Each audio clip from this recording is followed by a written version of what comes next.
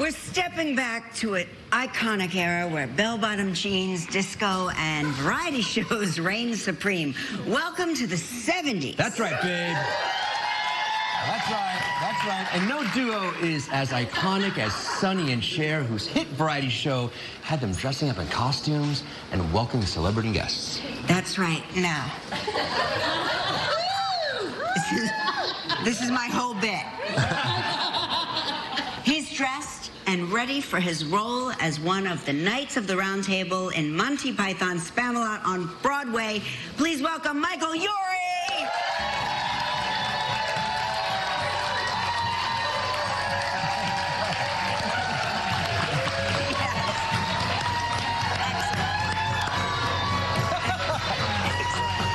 Excellent. Hello. Hello, We're afraid to get stuck to one another. Everything is flammable. Yes. Good morning. Michael, morning. take us back in time to your childhood. What were Halloweens like for you? Oh, in the suburbs of Texas, we would go out, you know, towards the end of the evening and get all the candy we could. My greatest uh, Halloween costume, I think, was an iPod. I was an iPod. Oh my gosh, uh, you're right when they so came out. young. and um, I was playing, uh, you know, I had like a little white string coming out of my head with like these little puffs that were there Yeah. and, and a square. You remember iPods, right? And I was playing Don't Stand So Close to Me by the police. Incredible. So people would get up close. We and would be Walkmen. Have to stand back.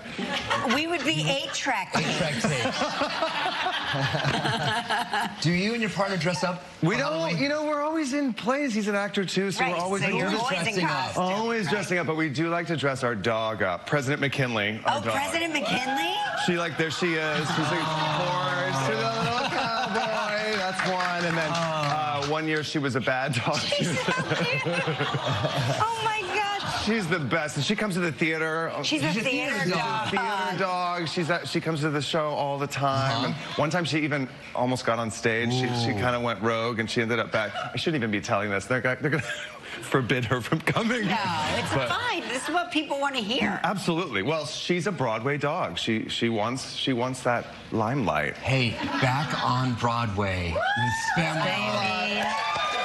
Our first performance is tonight. Tonight, is our Tonight's first. first performance? Tonight is our first performance, and you guys, this only happened because of you. I was on this show. I remember that. I remember that. And you were in D.C. at the time, We had right? just done Spamalot at the Kennedy Center in Yeah. DC, and then I came to visit you guys, and you said, "Is this show going to Broadway?" And guess what? Now we're on Broadway. Oh my God. Are you nervous about tonight? Any butterflies? It's our first performance. Yeah, I'm a little bit nervous, but I have this thing that I do. One time, um, I found out early on in the performances of a show that Barry Manilow had bought a ticket. Oh my god! And I'm not just a Fanilow. No, I am a, such a fan I am an ambassador. he's my absolute favorite. When I found out he was coming, I said, do not tell me when he's coming. I do not want to know. And I just pretended he was there every night. Every night, yeah. And that was great. You were amazing every night. It worked out really well So for me. So who are you pretending is going to be there tonight? Manilow, always Manilow, still. Manilow. It's always Manilow. Oh my gosh. All right, so when you're in the theater, do you ever have any misbehaved uh, theater goers, cell Yeah, phones? It happens, you know. Yeah. Why don't people understand to turn their cell phones off? I don't get it. What's worse to me than turning your phone off, even you know, because like sometimes you forget whatever. Uh, uh, but if you're on your phone Oh, no, no. during a play, I was in a play with Patti LuPone. Oh, no. And The police. somebody, The police. theater cop, Patti LuPone, and somebody was on their phone through the whole show, and she snatched it out of their hands. She literally walked over and took it, Is that all? And then she got backstage. She took say, it. is she that got- all she did? Yeah. she punched them. They got, no, no. She got backstage and she goes, I got the phone. She didn't know what to do with it. Yeah, so But- what did she do with it? Well, I I, would have she- taken a bunch of selfies. They're back.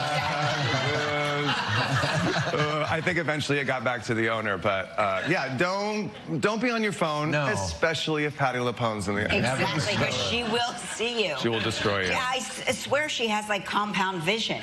She sees and hears every misbehaving audience member. Yeah, it's wild what we can what we can see in the audience. You know, they're in the dark. You think that you're in the dark when you're in the audience. no. but We can see can you. we, we are yeah. aware of what you're doing. and we are judging you. I've got to know, I'm having so much fun as a brunette. Are you having more fun as a blonde? Kelly, I can't tell you how much I like being blonde.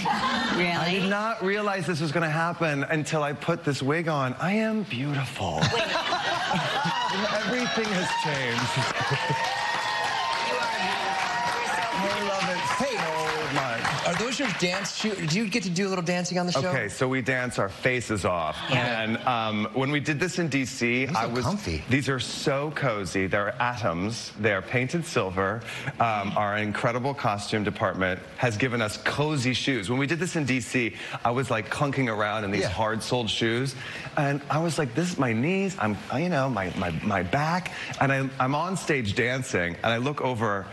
And King Arthur is wearing Nikes. No. And I'm like, wait. And then I look and Lancelot's in Pumas. And I realize I'm the only schmo wearing these Right, hard-soled exactly. shoes. And so now, And so now they those gave us are these incredible. beautiful. You won't even know. You watch the show, you think we're in these like silver, beautiful things. I know you were showing us backstage, and if, if people are watching the, uh, you know, we're doing this Behind live scenes. behind the Yeah. scenes coverage of the show, and you took us through the magic. This is great. because it looks like it's metal and on metal on on It looks steel. like chainmail and Yeah. steel, Uh-huh. but it's it's plastic, and this is made of rope. This incredible costume. They've done such an incredible job. Aren't the Broadway costume designers the They're most amazing. They're incredible. people? Jen Caprio is our is our costume designer for Spamalot, and this is actually cozy. I mean, I, I, I can't.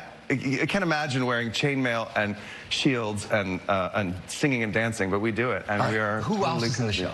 Tell us about the Okay, cast. James Monroe Iglehart plays King Arthur. Oh my God. Leslie Rodriguez Kritzer plays the lady in the lake. We've got Nik Walker, Christopher Fitzgerald, Ethan Slater, who was SpongeBob. He he's he's in the show. Uh, Jimmy Smagula, and then all of these incredible Broadway dancers.